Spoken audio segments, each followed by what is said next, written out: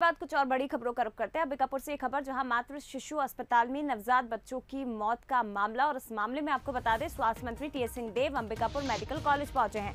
36 घंटे में करीब छह बच्चों की मौत यहाँ हुई है, जिसके बाद प्रशासन में हड़कंप मचा हुआ है। स्वास्थ्य मंत्री टी एस सिंहदेव भी अस्पताल पहुँच गए हैं और प्रबंधन से चर्चा कर रहे हैं।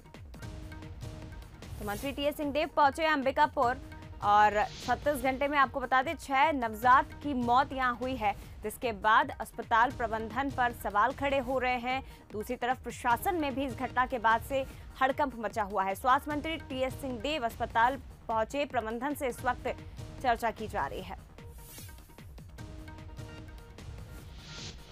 तो एक बड़ी घटना अंबिकापुर से सामने आई।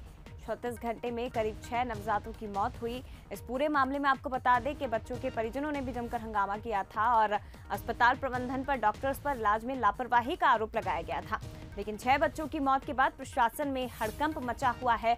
वहीं स्वास्थ्य विभाग भी इस वक्त चिंतित है।